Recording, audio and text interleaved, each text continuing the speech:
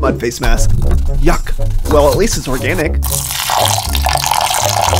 Bubbles. Suck it up. Inject the mud. Add the peptide. Subscribe for a face mask. Now we just wait a few minutes and I'll be right back to try it on.